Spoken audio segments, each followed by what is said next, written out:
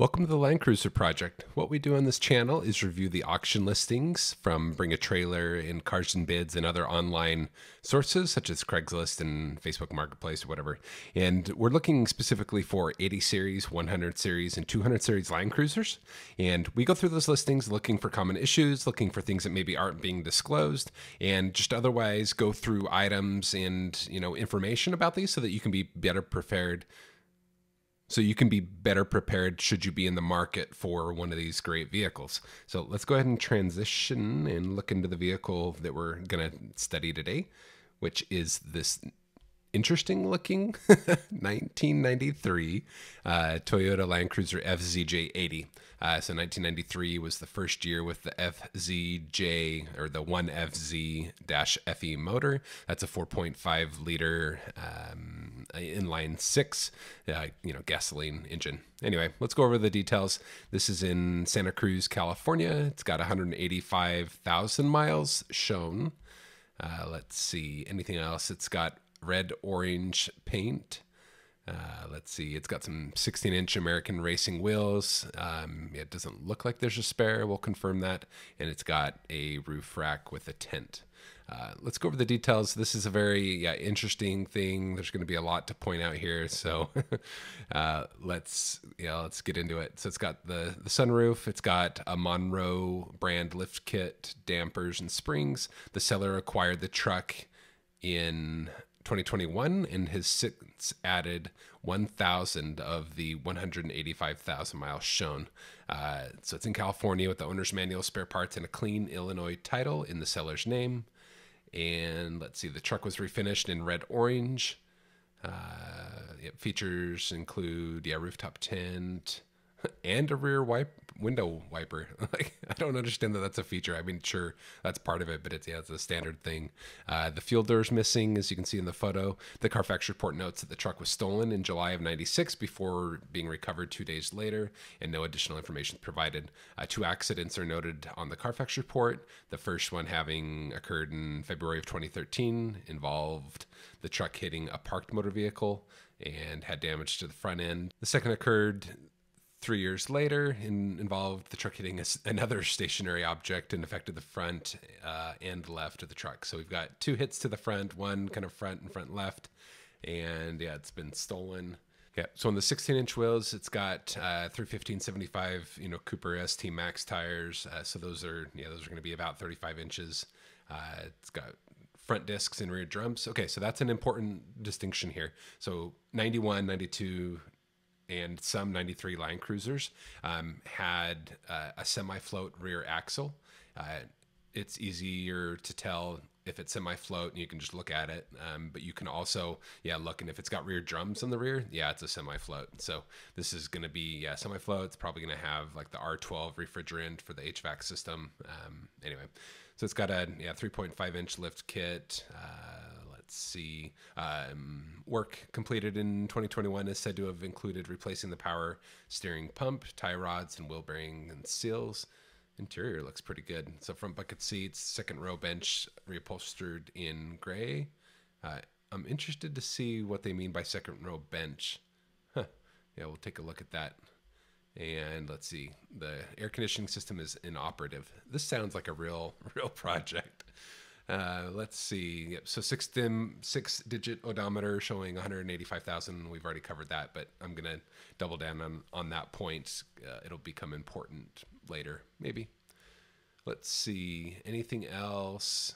Uh, work completed in November of 2021 is said to have include uh, replacing the valve cover gasket, power steering belt, air intake hose, which yeah we've talked about how those can leak and they kind of crack and fall apart. Spark plugs and oxygen sensors, and ooh, that undercarriage and that wiring that looks splendid. All right. Anything else? Uh, the truck is equipped with a locking center differential. Corrosion is visible on the underside. Yes, it is. It's got some yeah new new parts to throw at it. Some like uh, caster correction bushings. Uh, let's see. There's the rooftop tent. All right, cool. Let's look at the Carfax. Uh, so it's got yeah an accident reported, but let's see, lots of owners, right? How many does it say? Six previous owners. Um, so 25 years through owners one through four. Started its life in Florida, and yeah, mileage ticked up over the first you know five years to eighty thousand. Then it went to Washington, and then looks like it was in Washington, maybe ulti- ultimately ending in Michigan um, after almost another ten years.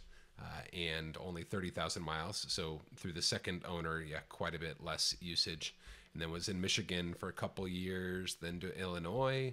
No mileage reported on these. There's that first accident in which this car hunted mercilessly another parked motor vehicle, and then again it hit another stationary object in in 2016. Yeah, presumably still in Illinois. Um, so pretty pretty good mileage jump through that what fourth owner. Uh, let's see. So yeah, up to 183,000, and then yeah, looks like it was in Wisconsin. It's you know at some point in 2021, and then yep, still in Illinois in 2023. So no other mileage reported on the Carfax except for this 2017 183,000 miles on it. Um, so yeah, keep that in mind. The previous owners or the owner, the seller says. Uh, that it's at a 185 right now, and then a thousand miles has been put on by by him or her. So that would take it to like 184. So between 2017 and you know roughly uh, yeah, when this buyer bought it, um, yeah, 400 or sorry, 700 miles or so. So what's interesting is if you pull this up in vehiclehistory.com, uh, there is one historical sales listing. So it's noted as uh, yeah April 5th, 2017, and it shows yeah 183,255, uh, and so that's yeah that's this one here. So um, I must have like read that number wrong because yeah, something seemed fishy, but um, yeah, the mileage seems to match up. So one one eighty three in twenty fifteen, what's he? When was that? Twenty seventeen um, to one eighty five now. So I, I guess that all makes sense. Not a lot of usage since yeah twenty seventeen though. All right, let's go ahead and look at the photos. So this, yeah, this is definitely an interesting color. It kind of feels like it was like rattle can because it's not totally consistent. Um, yeah, you can see the front bumpers. Yeah, pretty pretty mangled and messed up. The gaps look weird here across the front. Uh, you know, this little valence panel and these turn signal indicators. Um, yeah, let's see what else. Obviously missing the the fuel door. It's got a, a little rain visor on the on the rear door on the driver's side, and nothing on any of the other doors. Uh, there's some weirdness going on on the on the rocker. Well, I'm sure we'll see that. I can see some some corrosion here in the back. Um, the paint on the roof is like noticeably faded. That's probably one of the big differences between like a yeah a rattle can spray paint job and um, yeah actual you know like real real automotive paint. Uh, I'm sure rattle can paint just doesn't hold up under the sun. Kind of presents a cool uh, a cool effect though. Uh, this rear bumper seems to be sitting a little bit low. Um, I didn't note, and I don't really see any obvious indication that there's the body lift. Um, a body lift, you know, might produce that type of effect, but I'm also not totally aware of um, yeah, people consistently you know doing body lifts on Land Cruisers. It's more of a thing with like uh, 4Runners, like their Gen 4Runners. Uh, but I gotta say, like this, the body lines here. So this like line that starts up here and comes all the way through, you know, the the front and the rear door through the third quarter panel and then terminates here. Like this is one of the best lines in my opinion of yeah of vehicle design. Just yeah, really like that. All right, let's keep moving around the back of this thing. You can see this. Yes, yeah. Maybe looking at this rear corner here on the driver's side, it's it's just been hit. Not yeah, it's not there's there's not a body body lift because the yeah the passenger side looks just fine. But yeah, you can see that looks like a lot of like nasty corrosion under there. Um, yeah, and the the bumpers sagging down on that passenger side as well, and then yeah, fading on the fender flares. I mean, could this could this be a good trail rig? I guess it depends. Yeah, on on, on what you want to do. I'm like seeing this discoloration here along the rocker panel and the pinch weld, and yeah, I kind of get the sense that it's rusted out, but can't see quite yet. Um, yeah, this is certainly yeah, an interesting vehicle. There's the rooftop 10. I don't really see a uh, you know brand on it. Um, yeah, okay, maybe that adds you know 500 bucks worth of value, but and it's got some like Yakima or Thule style um, yeah bars that appear to be deflecting. I'm not sure they're handling that load okay. But okay, yep. So there's there's the rooftop tent. Uh, looking at the you know the hood, like looks okay. Uh, I don't know if this marking or this discoloration is um, yeah on the dash or if that's on the windshield. Hmm. Interesting clips. Oh, those would have been I think for the uh, so some of these early uh, 80 series would have had like a um, yeah, little chrome piece. Maybe that's what those were for. Those clips. I'm not sure. Uh, but yeah, this this looks awful. There's a pretty big ding here on this valence panel. Yeah, the paintwork looks looks pretty crappy. Another ding there. Yep. I'm not sure. I don't this. I get into this like idea of is this really worth? Um, I mean, I guess if it runs and drives, yeah, it's you know worth it for like a beater. Always love the mismatched screws. Usually that means that they've seized and like one of them has a bolt still stuck in the hole. So, oh, but it's got a yeah, it's got a snorkel, so it's all it's all good, folks. You can take it to Rigs and Coffee. uh, you know, more evidence of yeah, not the best paint job. Uh, the you know the gaskets of the you know the handles were obviously on when this was painted. Um, yeah, that gasket's painted. You can see there's a pretty stark color difference on these fender flares, uh, and it looks like they didn't use a yeah Toyota. Not again, not that it matters. Just just commenting that yeah they didn't use the yeah the Toyota fender flare gasket. Uh, little paint wear on this edge.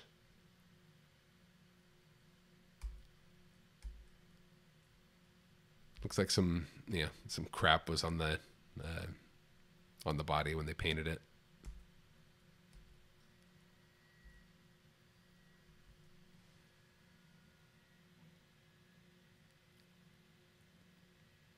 Yeah, this is this is certainly interesting.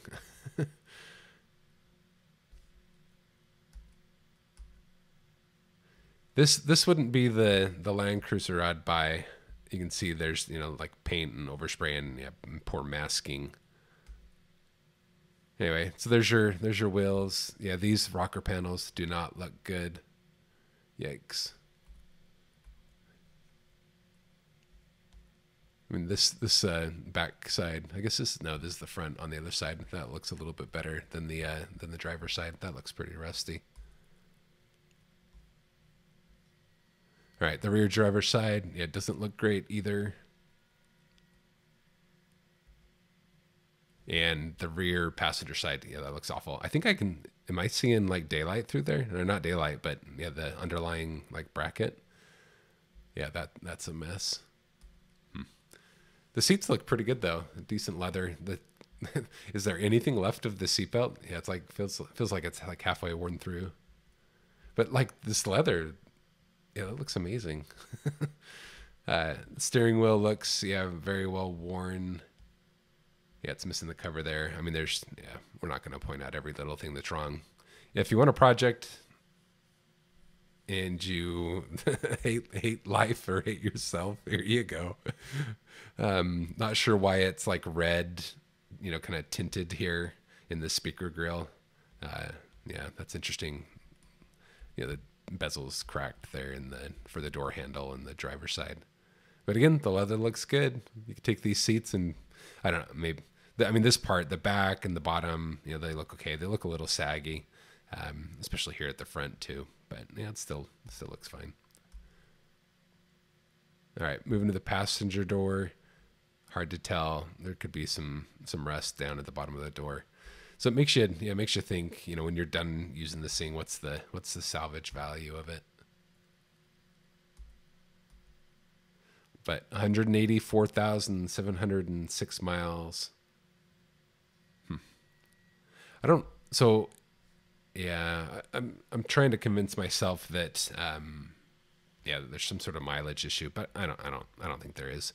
Uh, one interesting thing you can see, you know, going. This is going back to the. I think there's a 1996 or seven, the white one, where the the seller um, was basically saying, you know, oh, the the the instruction manual, the owner's manual, has instructions for the diff lock, so that means my truck has them. Um, just to show in some cases, you know, like Toyota does more than they need to.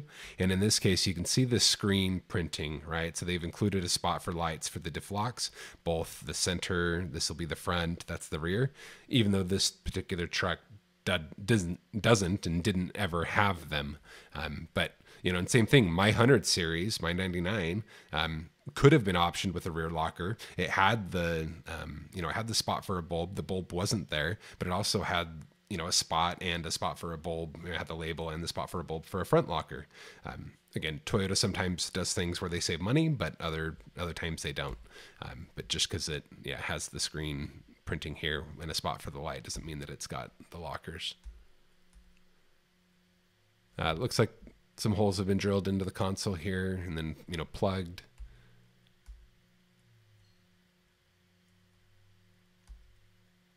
Yeah, carpet looks like reasonably reasonably good though. Uh, second row seats look to be original and in just fine shape. Uh, the bottom of the driver's seat, you know, the like the cover isn't fastened the way it needs to. Yeah, lots of things. I mean, missing little covers on the grab handles for the screws.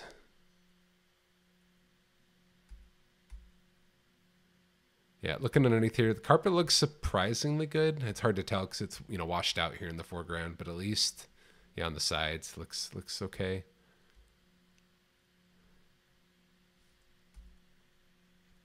Um, I'm assuming that the um, the visor here on the um, passenger side or driver side's been um, been replaced. It's a different color, or vice versa.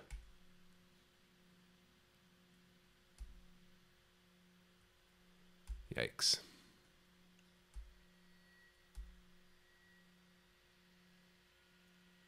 Yeah, looking here at the rear, reasonably clean back here. It's got the third row seats. Yeah, seems mostly intact. There's a little like red, you know, tinting, you know, on the plastic, and then yeah, you can see the again the quality of the paint job. It looks like there's some different colors, but um, you know, hardware wasn't masked back here at all. They just kind of sprayed it all. I see a missing screw on this one tail light housing. I presume it's missing on the other side. Yeah, look, looks like it's not there yeah, just a really. If you didn't, if you couldn't tell already, it's a pretty bad paint job. Never good to see cobwebs on an engine bay. That's the sign of a vehicle that's been parked for yeah, a couple years without much usage. Uh, same thing, pine needles here across the yeah across the weather stripping. Um, 93 probably wouldn't have had the VIN stickers on the fenders, so yeah, not not really much of a concern there. But you're also not getting a beauty queen here. Also see the batteries not being retained properly. That should be you know strapped and locked down. Um, noting some corrosion across the engine bay. Uh, looks like it does have cruise control, so that's good. Uh, and then you can see the AC dryer here, so that's going to be indicative of the, the R12 system. Um, do I do note some corrosion here. So these holes would have been from where like the factory, um, you know, like heat shield and sound shield would have been installed, and yeah, in particularly rusty environments, yeah, those those holes, the paint around them can fail, and you end up getting rust like this.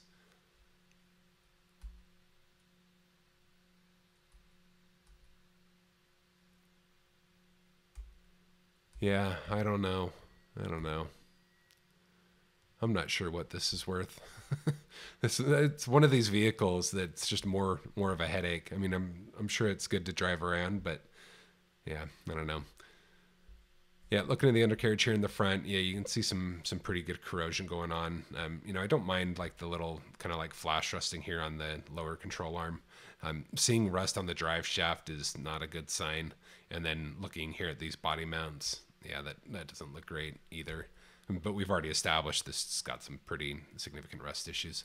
Uh, looks like some sort of power steering, uh, you know, cooler relocation kit. I do see some green here, maybe indicating a, a leaky radiator. Looks like it's kind of saturated here. Yep. So keep that in mind. And just like the the level of corrosion on this stuff indicates that it's yeah, it's probably been sitting in a you know outside for quite a while. Looking here at the back, yeah, so there's not a spare tire. I don't know what's going on with this wiring. Looks like it's some trailer, you know, some uh, you know trailer wiring. Um, does not look to be properly retained, or yeah, that needs to be tucked up. And the corrosion on the rear axle is horrendous. And yeah, presumably looking here at the body in the seams, you can see that there's yeah, there's just more crustiness up there. Yep, hard hard pass for me, but but maybe maybe this is something for somebody. I don't know. If you've got that cover, why wouldn't you put it in? Wonder if it's yeah, it's broken. Anyway, whatever. Yeah, this one's this one's rough. I don't know. Does the tent and snorkel do it for you? Um, all right, yeah. Current bid twenty five hundred. I'm surprised there's a reserve. You think they would no reserve this thing? Man, yeah, this is rough. Well, condolences and and best of luck to whoever ends up bringing this home. Um, I'd love to see it turn you turn it turn it into something, but yeah, I'm I'm not going to be the one to do it. Uh, anyway, I think as far as bidding, yeah, maybe this will go up to I don't know, like sixty six hundred dollars. That's let's do sixty six, uh, yeah, six thousand six hundred sixty dollars, just to be funny. Um, yeah, yeah, I don't know. Interesting. I know you know everybody needs a car, right? well, thanks for watching. This one's certainly been interesting, and I'll see you for the next one.